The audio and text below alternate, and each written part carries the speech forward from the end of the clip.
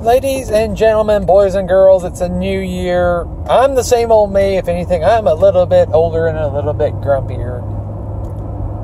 But I'm back again. There's, we're on like day 13 of the United States government shutting down because no funding agreement. Trump is still saying wall or nothing, and Democrats have taken over Congress. And, or uh, the House of Representatives, and they're throwing a temper tantrum saying we'll do it without funding the wall. And you got the Anastasia or whatever her name is that just got elected to socialist, and she's already talking, been talking about wanting a vacation. I want to say a few things. First, every single person, elected official in Washington, should not be getting a paycheck right now but they are. They're enjoying all the benefits. They're not losing out anything.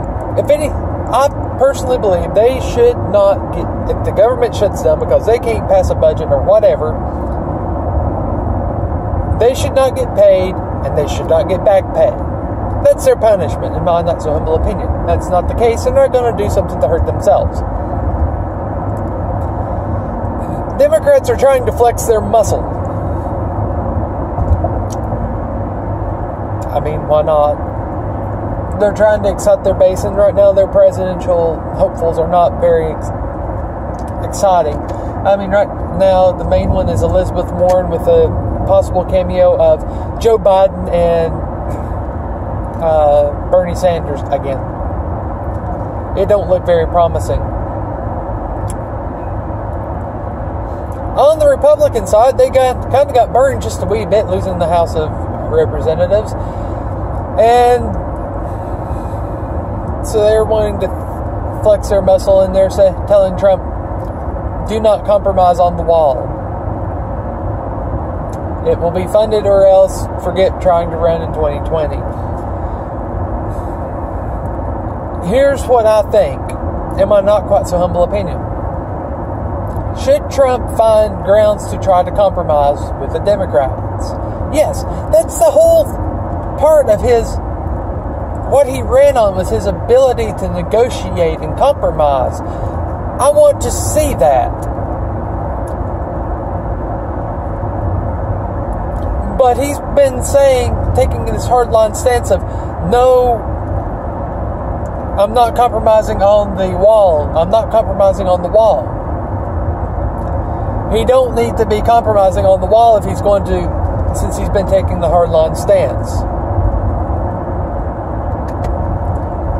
Unless he wants to just absolutely piss off the base, because he's done quite a bit of that with like the bump stock bans and a few other things that I don't agree with. Then you have like the rampant spending that I don't agree with.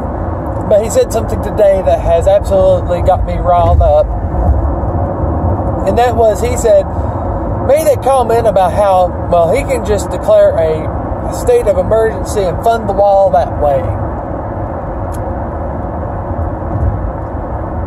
First off, I don't believe it qualifies as being a state of emergency, but that's what you call a dictator move. It's not a republic move, the move of a Republican government, or even a democracy. Let's flat out dictatorship of some variety. And I don't agree with it. I cannot agree with that. If he really wants to take a hardline stance and fight on the wall, that's fine. That's what he's been saying. He needs to stick to his guns if he want, doesn't want to lose his base because he's taken several huge hits already. what I cannot agree with is, and if whatever happens, happens, but don't do something that underhanded where you just like flex muscle where it shouldn't be flexed to get your way. That no, that's just wrong. That's dictator. Like I said, that's what you do if you're a dictator and I cannot support that.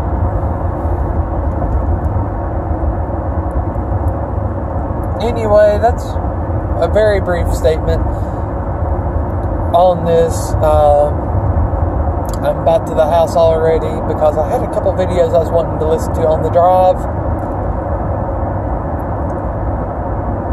Anyway, uh, hopefully I'm going to figure out a way to upload from that fancy little, well, semi-fancy action camera, and I can get some cool video that way. I've got a lot of cool things I'm wanting to do this year. Um, maybe some videos of me doing working on some projects. I think that'd be pretty cool. Maybe some stuff with Alice if I can ever, if it'll ever stop raining long enough for me to uh, get the tire off the that rear tire off the trailer and get it uh, on the tractor. And then I still haven't been able to get that disc plow off the trailer because every time I think about it, you know, and I'm not working and it's not dark and everything else where I could actually do something with it, it's been raining. It's been like this for months. The running joke right now is I'm so glad it's raining, the mud's starting to dry out. Anyway, I'm not going to bash it because there's coming a time where we're going to complain about it being too dry. So I guess accept the blessings while we got them. That's part of the ebb and flow, but I'll be grateful we got it, even though it hampers a lot of my plans. Anyway, hope everyone's having a good new year thus far. And if you happen to be the whoever it was that prayed for the rain in my particular area, you know, pretty much the entire southeast, uh, pray for my bank account that large amounts of money will come to it, that money will flow like the rain has been pouring down the past few months. I'd greatly appreciate it. Anyway, again, hope you're all is all is well.